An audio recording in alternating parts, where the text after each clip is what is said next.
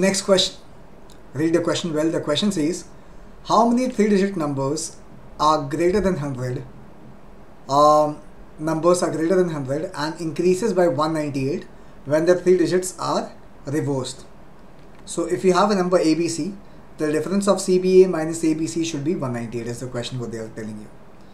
Let's take this number as abc so this value will be how much? This is 100a plus 10b plus 1c. If you reverse this, the numbers will become CBA and this will become 100C, 10B will remain same and 1A. And they are saying the difference of this which is 100C plus 10B plus 1A minus 100A minus 10B minus C should be equal to 198. Should be equal to 198.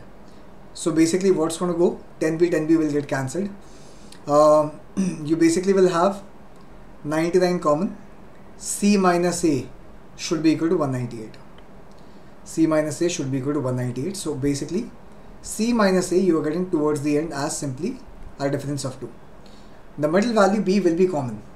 Now which all the values are more than 100 so possibly the first combination could be like this. First number 1 and the last number 3 the difference is 3 minus 1 2 next number will become 2 comma 4 next is 3 comma 5 next is 4 comma 6 next is 5 comma 7 next is 6 comma 8 and last will be 7 comma 9 clear? So how many such combinations? 1 2 3 4 5 6 7 there are 7 such combinations which are possible.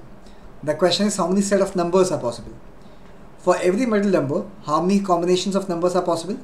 Any number from 0 to 9 can come. Any number between 0 to 9 can come in the middle value which is the blank. So there's a series of 10 numbers which is possible for each combination. 10 here, 10 here, 10 rather for each of the given case that we have made. So a total of 10 into 7, 70 such numbers will be possible where the difference of the last digit and the first digit will give you as 2 and on reversing the number you will get the difference as 198 and hence the answer for this question will be 10 into 7 which is 70 such cases.